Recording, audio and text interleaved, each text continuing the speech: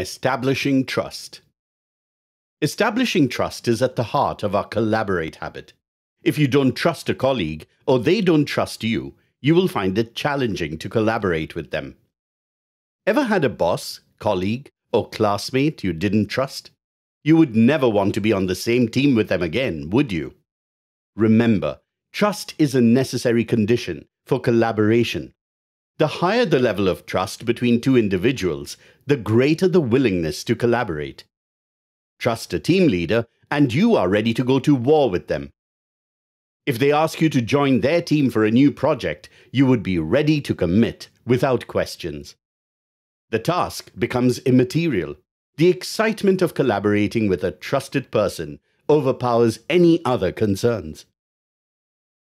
Equally, you would dread being asked to join an exciting project, one you have been dying to work on, when you find it is being led by a person you can't trust. Similarly, you would never collaborate with external agencies, suppliers, and consultants you don't trust. If that's how critical trust is to collaboration, it's time all of us pay attention to its science and practice. Harappa's Establishing Trust course does just that.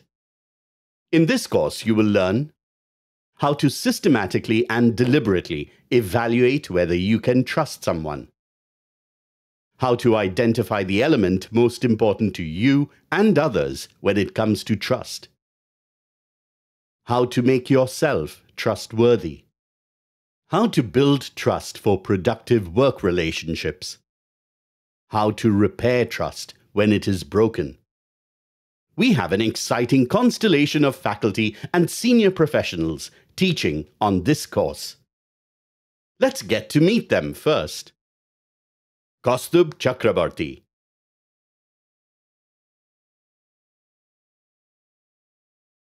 Mandar Vaidya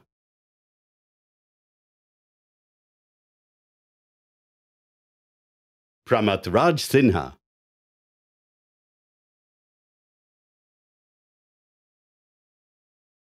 Reena Mittal.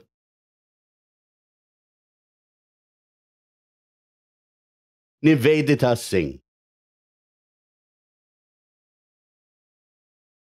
Quite a lineup, isn't it?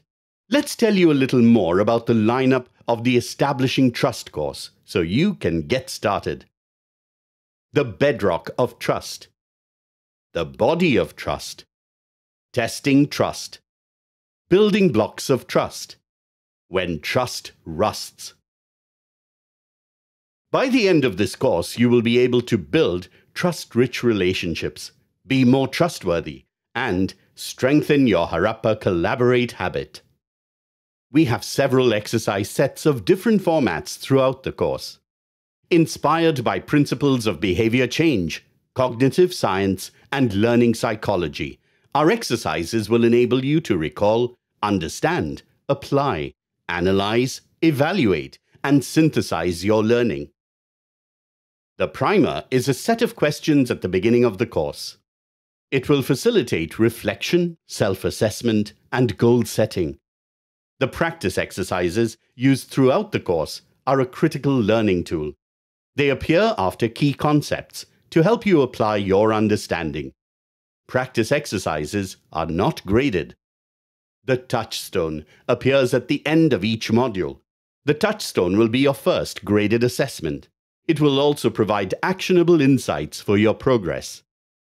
We can't say this enough. Practice builds skills. So do make the best use of our exercises to accelerate your learning. They'll ensure you reach the primary goal of this course to become a great collaborator. Let's begin.